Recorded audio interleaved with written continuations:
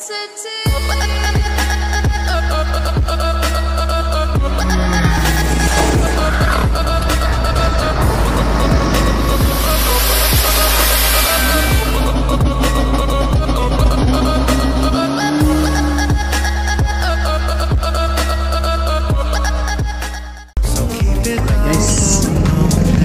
dah sampai dekat root cutting Medini.